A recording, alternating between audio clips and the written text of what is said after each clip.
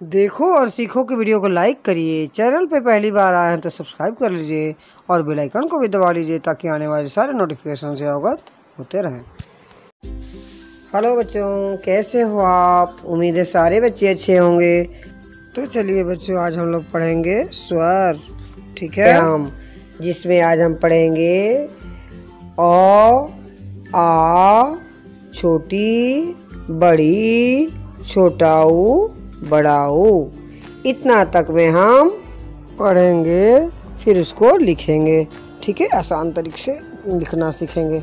ठीक है बच्चे? तो बहुत ध्यान से बिना स्किप किए हुए वीडियो देखिए सुनिए समझिए और सीखिए। ओके तो चलिए स्टार्ट ठीक है बच्चों? तो देखिए सबसे पहले है आपका आ से अनार। तो आ से अनार को गीत में कैसे गाएँगे? आ से अनार के गोल गोल दाने जो इसे खाए वही स्वाद जाने। ठीक है बच्चों तो मैं तीन तीन बताऊँगी। दूसरा है आ से अदरक। अदरक को कैसे गाएँगे? अदरक होता एक मसाला। चाय में डालो या सब्ज़ी बनाओ। ठीक है? और तीसरा है आ से अजगर। अजगर होता बड़ा सा सांप, जो इसे देखे डर डर जाए।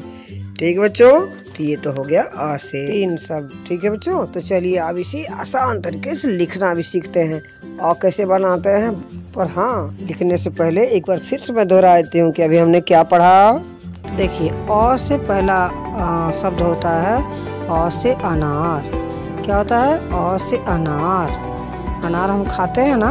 उसके दाने खाते हैं लाल लाल दाने होते हैं। और दूसरा है अ से अदरक। अदरक क्या करते हैं? अदरक मसाले में कूटा जाता है, चाय में डाली जाती है, ठीक है?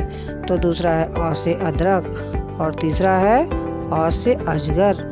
अजगर आप जानते हैं किसको कहते हैं? अजगर सांप जो बड़ा होता है ना, बड़ा सा सांप होता है, उसी को अ से अजगर कहते हैं। बच्चों, ठीक है? चलिए, हमने पढ़ लिया, अब इसको थोड़ा लिखना सीखते हैं। तो लिखना कैसे करेंगे? सबसे पहले ऐसा करेंगे, आपको फाइव जगह लिखना है। यानी कि पाँच जगहों पर इसको लिखना पड़ेगा। कैसे लिखेंगे?